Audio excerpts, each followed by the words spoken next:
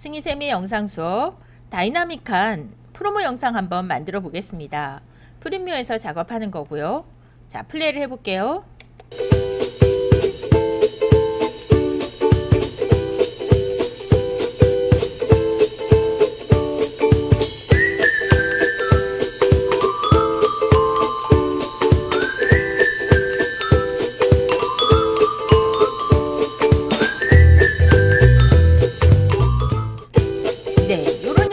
만들어 보려고 합니다.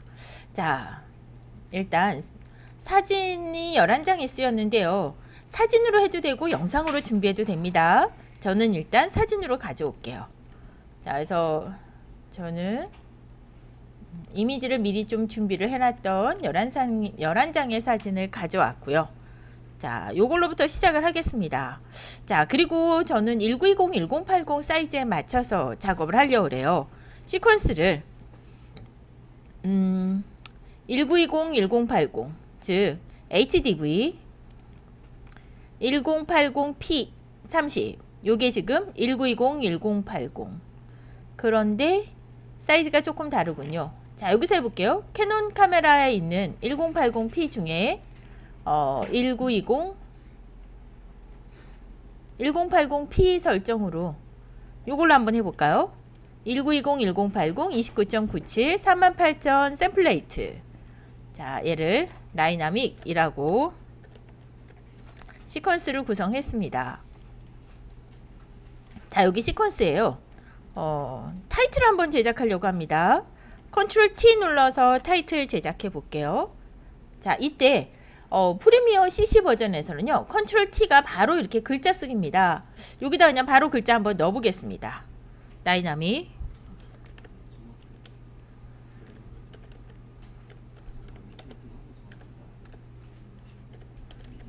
자 글자 하나 썼고요. 자 이렇게 쓴 글자는 effect control panel에서 폰트의 글꼴을 바꿔줄 수가 있겠죠? 저는 나눔 스퀘어 extra bold 한 요정도를 사용해 볼게요. 자 그 다음에요. 직접 type tool 글자 쓰기로 또 사용할 수 있겠습니다 자 현재 어, 역슬러시를 눌러서 엔터키 위에 있는 게 역슬러시입니다. 전체 모습을 한번 봐보고요. 타이틀 하나 더 써볼게요. 이번에는 요 밑에다가 직접 커서를 클릭해서 타이틀을 써볼까요? slide show 이렇게 입력해 보겠습니다. 자 이렇게 입력한 요 글자를 잘 배치하고요. 어, 마찬가지로 effect control panel에서 글꼴 선택해 줄 수 있겠고요.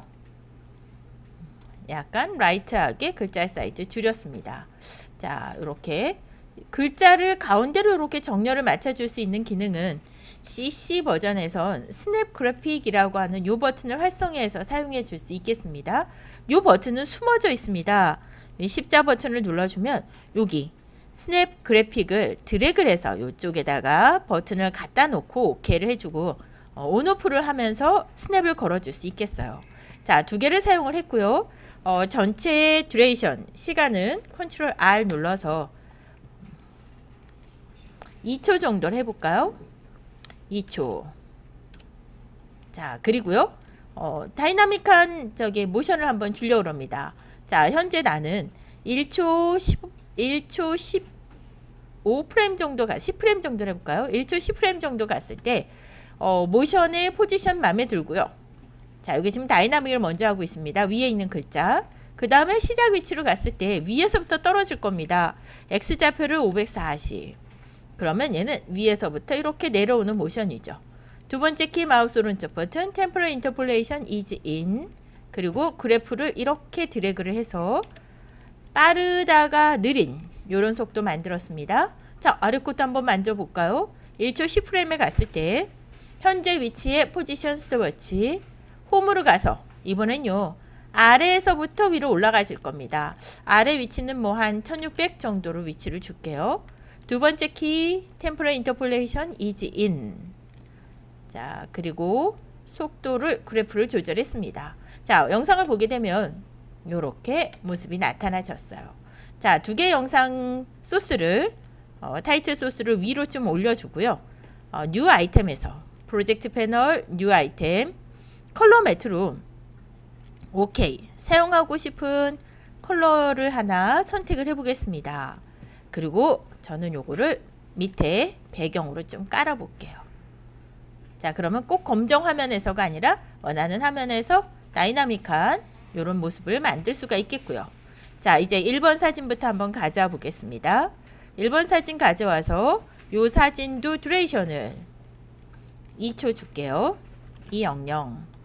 자 이렇게 이제 주어져 있는 상태에서 자 요거는요 시작 위치에서 스케일이 100%에서 end로 갔을 때 end로 갔을 때 화면이 안 보입니다. 이럴 땐 화살표 왼쪽 버튼으로 한 프레임 전에 스케일을 70%로 줄였어요.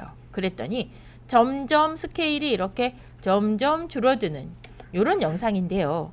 요거를 좀 재미나게 급박하게 하기 위해서 한 2초 8프레임 정도를 갔을 때 스케일을 한번 더 줄이고 싶습니다. 이럴 때 사용하는 것이 effect panel에서 저는 transform trans TRAN 이라고 했더니만 video effect 중에 distort transform transform을 갖다가 넣겠습니다.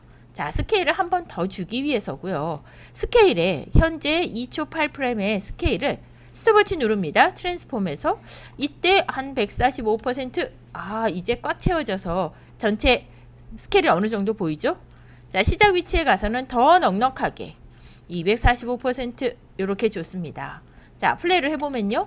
쿵 스케일이 떨어져서 점점 계속 스케일이 줄어드는 이런 모습인데요. 이때 두 번째 키 마우스 오른쪽 버튼 ease in. 자 그래프를 펼치고요. 이 모습이죠.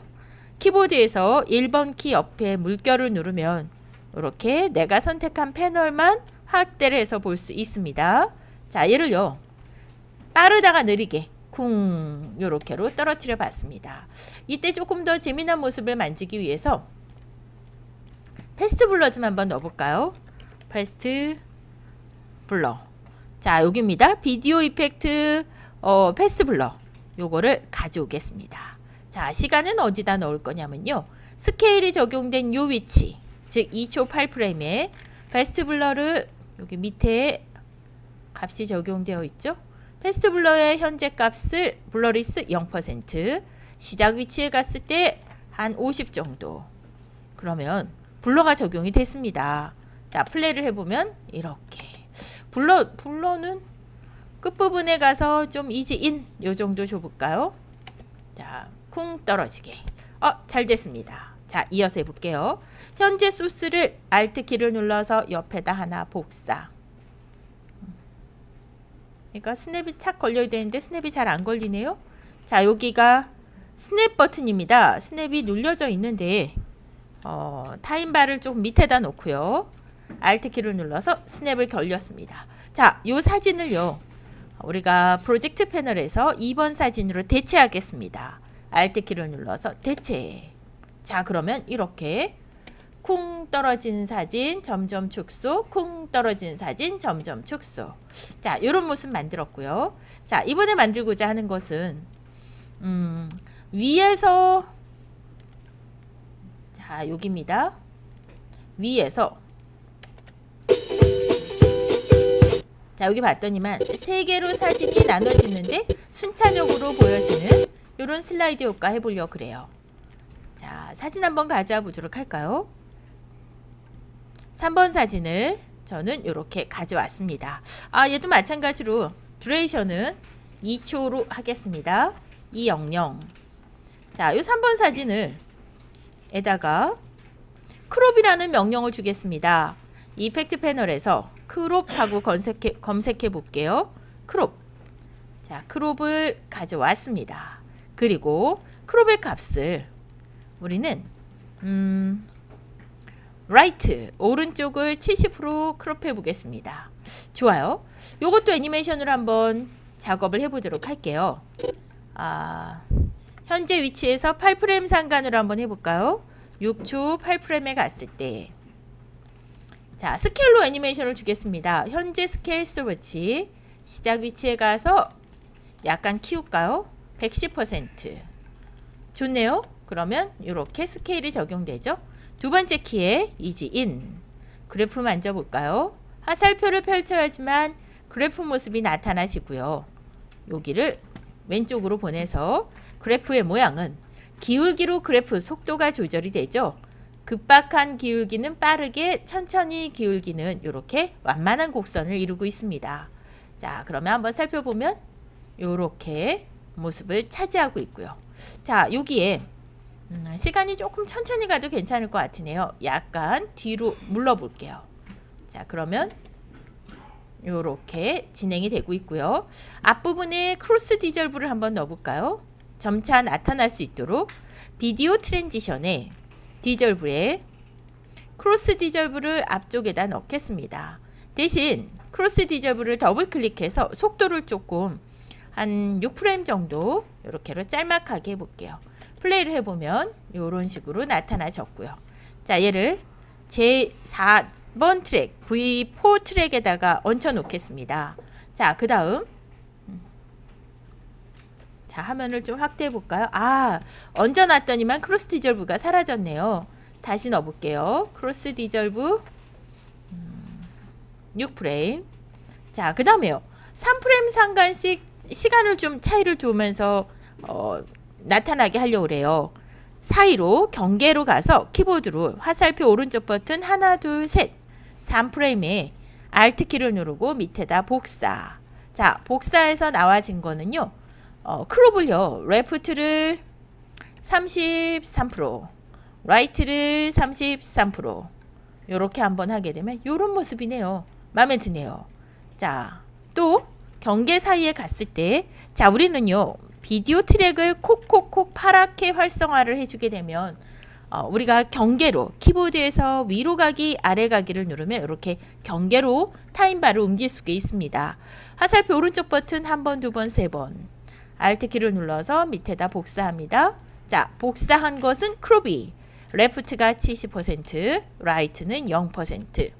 자, 플레이를 한번 해볼까요? 짜자잔 하고 나타나는 이런 모습이죠. 네, 나쁘지 않은 것 같습니다.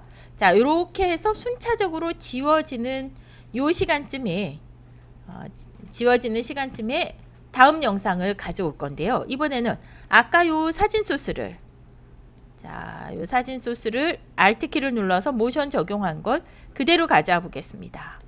자, 그리고 대체를 할 겁니다. 프로젝트 패널에서 4번 그림으로 Alt키를 눌러서 대체 자 플레이를 해보면요 짠 나타나고 하나씩 사라지면서 그쵸? 하나씩 사라지면서 다음 사진이 쿵 떨어지는 이런 모습이 됐습니다.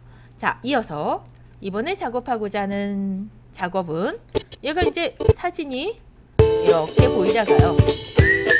아, 이렇게 작업이 있는데 하나를 제가 빼먹었네요. 지금 보니까 얘네들 점점 사라지는 효과를 하나씩을 했어야 되는데. 자 그거 한번 해볼게요.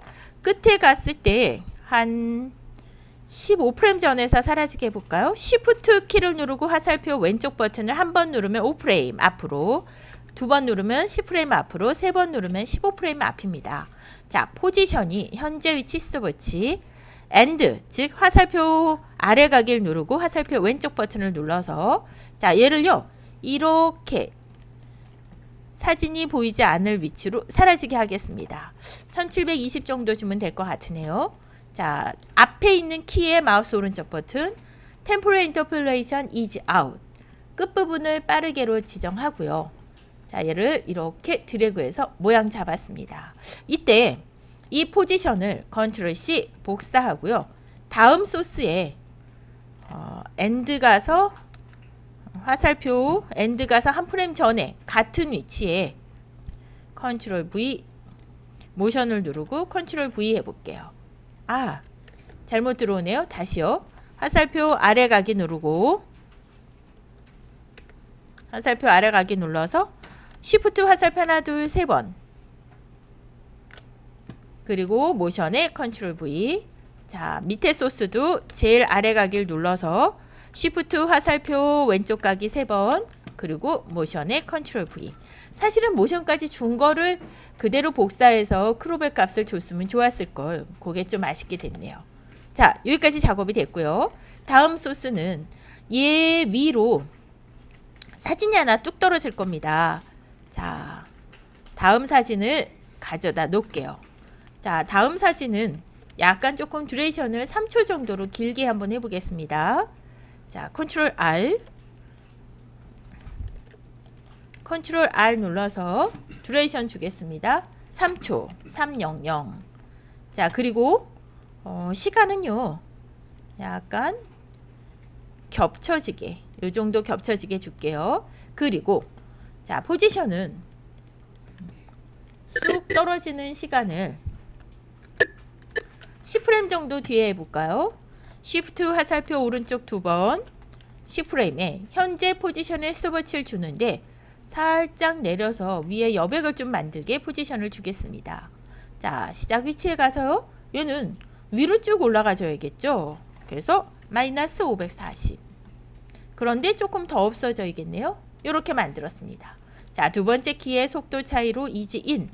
리니어 형태로 속도가 만들어지면 재미없습니다. 자, 그래프 만져줬고요. 자, 다시 봐볼게요. 이렇게 되다 뚝 떨어졌어요. 좋네요. 자, 그 다음 이제 이렇게 뚝 떨어지는 여기에 작은 사진을 좀 가져오려 합니다. 자, 사진 하나를 배치할 거고요. 어, 이 사진의 듀레이션은 2초로 하겠습니다. 200 그리고 현재 이 사진에 스케일을 좀 조절하려고 그래요. 스케일은 저는 30% 정도 줘볼까요? 스케일을 30%. 자, 그리고 어, 시간은요. 시간은 15프레임 뒤 정도로 해볼까요? Shift 화살표 오른쪽 하나 둘 세 번. 자, 포지션 스톱워치. 스톱워치 키보드 앞에도 포지션 스톱워치 뒤에도 스톱워치를 주고요. 얘를 살짝 올려서 위에다가 예쁘게 배치하겠습니다. 마음에 드네요. 자, 요거를 가지고 Alt키로 눌러서 시간차를 줘서 한번 배치해 볼게요. 이번에는 5프레임씩 시간차를 한번 줘볼까요? Shift 화살표 오른쪽 Alt키를 눌러서 복사 자, 복사된 것을 복사된 건 그대로 놓고요. 위에 것에서 위에 것에서 포지션을 쿡 찍은 다음 실제로 마지막 키프레임에 갔을 때 X좌표의 위치를 옆에다 이렇게 잡아줍니다. 네, 마음에 드네요. 그리고 어, 현재 X좌표가 저는 289가 됐습니다.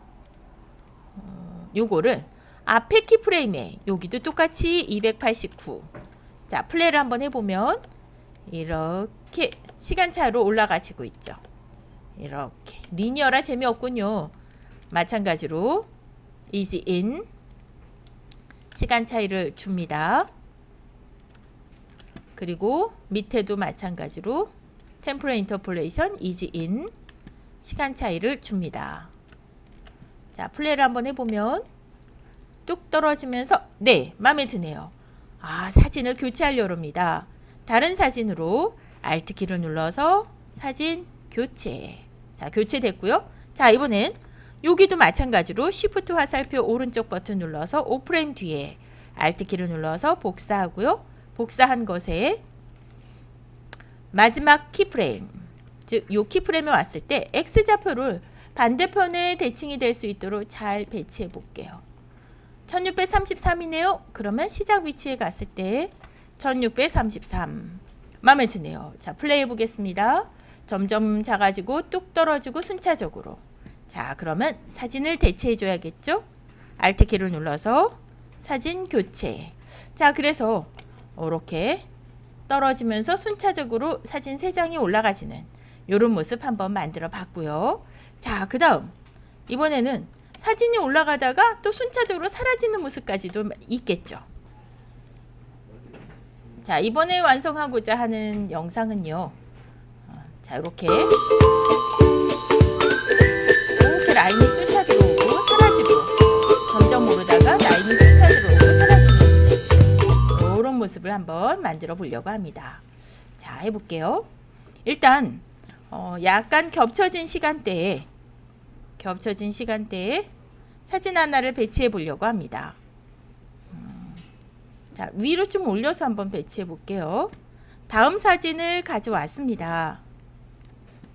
자 다음 사진은 얘가 이렇게 사라질 때 점점 커지는 모습으로 어, 사진의 모습을 표현하려고 합니다. 자, 얘는요. 처음에는 100%지만 모션의 스케일 스톱워치 그렇지만 어, 천천히 한 1초 15프레임 뒤쯤에 그러면 13 23 하게 되면은 1초 뒤죠. 이걸 조금 더 뒤에 한 1초 15프레임 뒤 요쯤에 어, 시간을 조정하려고 하는데요. 아 전체 duration을 좀 안 만져놨군요. 컨트롤 R speed duration을 2초로 놓고 하겠습니다. 자 그러면 1초 15프레임에 현재 스케일을 첫 위치에서는 100% 1초 15프레임 뒤쯤에서는 140%로 얘를 아이고 140%로 키우려고 합니다. 자 그러면 모션이 그리고 두 번째 키에는 이지 인을 줘야겠죠. 자 여기 방향선을 이렇게 드래그를 해서 예쁘게 모습을 만지고요. 자 그러면 점점점점 커지는 이런 모습이 만들어집니다. 자 예쁘게 잘 됐고요. 자 요것을 하나 더 Alt키를 눌 아니야 하나 더 위에다가 배치를 하겠습니다. 배치된 것도 duration은 2초를 할게요. 컨트롤 컨트롤 R 자 duration을 2초 200 자 여기는요 스케일 자체를 140%에서 하겠습니다. 자 그러면 요렇게 이렇게 좋죠. 자 여기에다가 여러분들이 look을 만져 주십시오. 저는 이제 preset으로 만들어 놨던 look이 있어서 그걸 좀 사용해 보도록 할게요. 어, 아니면 Lumetri preset의 cinematic 여기에서 한번 마음에 드는 look을 선택해도 좋겠습니다. 어, 저는 이쯤에서 한번 해볼까요? fade film 좀 강한 이런 look을 한번 바꿔보죠. 네, 마음에 드네요. 자, 요 상태를 이렇게 표현을 했고요. 그런데 갑자기 되니까 좀 재미가 없죠. effect에서 crossfade로 순차적으로 나타나도록 한번 해볼게요. video transition dissolve, cross dissolve를 여기다 넣겠습니다. 자, cross dissolve 더블 클릭해서 시간은 한 10프레임 상간 정도로 해볼까요? 그러면 점점 점점 커지고 슉 요 모습이 됐고요. 자 여기에 라인이 쭉쭉 나타나는 모습을 하려고 그래요. black video를 만들어 보겠습니다. 프로젝트 패널에 new black video 오케이 만들어준 black video를 위에다 배치하고요. 자 duration은 2초입니다. 200 자, black video를요, 모션에 갔을 때 스케일에 uniform scale 체크를 끊고 scale width를 1% 줄게요. 그랬더니 아, 1%. 요런 모습이네요. 자, 그리고 시간은 어, 적당히 한 중간쯤 정도 됐을 때 어, 포지션에 스톱워치 주고요. 시작 위치 같습니다. 얘를 마이너스 960 줄까요? 그러면 이렇게 나타나지는 선이 되겠죠? 선 마우스 오른쪽 버튼 ease in 줍니다. 그래프 만져줍니다. 자, 요거를요. Alt키를 눌러서 위로 복사. 또 Alt키를 눌러서 복사. 제일 위에 거부터 포지션을 좀 만질 겁니다. 자, 제일 위에는 먼저 얘가 이렇게 나타나질 건데 시간차가 타, 차이가 있는 거죠. 그러면서 자, X좌표 값을 이렇게 적당한 지점 한 470 정도면 시간차가 있으니까 맞을 것 같아요. 자, 어, 맞습니다. 자, 세 번째 건. 세 번째 거는 약간 시간차가 있는 곳에 천천히 나타나도록 하면서 자, 여기서 위치를 이렇게 잡아주시면 1460 정도 주면 되겠습니다. 자, 플레이 해볼게요. 점점 커지면서 컬러 바뀌고 라인 3개가 마음에 드네요. 요거가 반복돼서 쓰여지고 있거든요. 그래서 nest를 만들어서 반복을 한번 해보려고 그래요. 자, 한꺼번에 선택해서 마우스 오른쪽 버튼 nest nested sequence 01 오케이 자, 이렇게 만들었습니다. 자, nest를요. 더블 클릭해서 자, 이렇게 nest 더블 클릭해 들어왔습니다. 요 모습이죠. 자, 요 nest를 다른 사진으로 반복해서 쓰고 싶습니다. 자, 프로젝트 패널의 마우스 오른쪽 버튼 duplicate. 자, duplicate 된 거를 더블 클릭했더니만 nested sequence 01의 카피 01이네요. 사진을 바꾸겠습니다.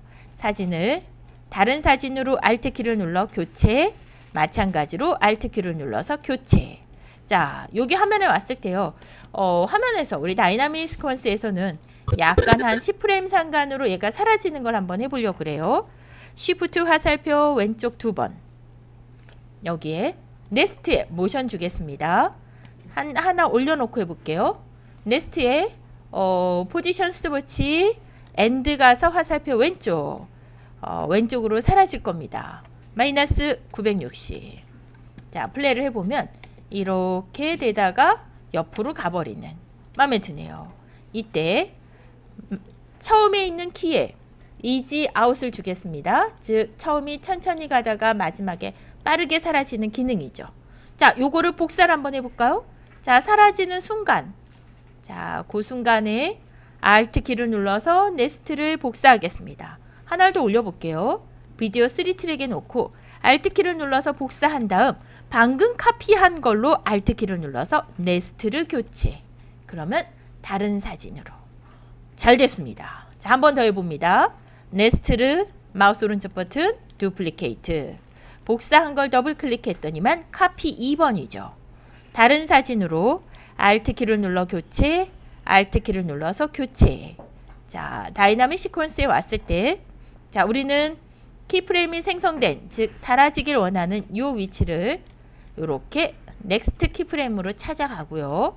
방금 새로 만든 다이나믹, 얘를 Alt 키를 눌러서 아니, 아니, Control Z 위에 걸 Alt 키를 눌러서 복사를 하게 되면 사라지는 게 있으니까 얘는 그대로 갖다가 넣겠습니다. 대신 맨 마지막 부분에 crossfade를 좀 넣어볼까요? 이펙트에서 cross dissolve 자 cross dissolve 넣었고요. 자 음악까지 넣어서 한번 마무리해 보겠습니다. 자 저는 사용하고자 하는 음악이 있어서 요 음악을 배치를 했습니다. 자 음악도 끝부분에 가서 좀 잘라야겠죠? Control K 컷으로 잘라주고요. 그리고 잘린 거 delete 삭제 마찬가지로 음악이 점점 사라지고 싶습니다. 이펙트 패널에 음악은 오디오죠. 오디오 transition에 crossfade constant power를 끝에다가 넣겠습니다. 음악은 조금 더 천천히 사라지게 1초 15프레임부터 시작을 해볼게요. 완성했네요. 자, 전체를 한번 플레이 해볼까요?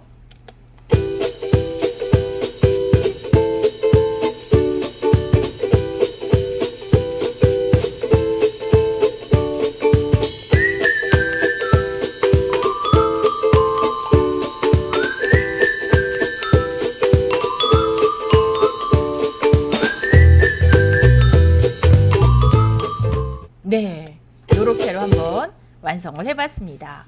자, 이렇게 어, 여기서 이제 주의할 사항은 어, 실제로 한 번 만든 걸 Alt 키를 눌러서 복사해서 소스를 교체한다라고 하는 팁과 그리고 원본 소스 하나를 가지고 막 복사를 Alt 키를 눌러서 복사했는데 크롭에 시간차를 두고 크롭의 값을 다르게 한다라는 것과 그리고 어, 마찬가지로 하나를 만들어 놓은 걸 기준으로 복사를 한 다음에 전체 포지션을 다시 한번 잡아주는 팁.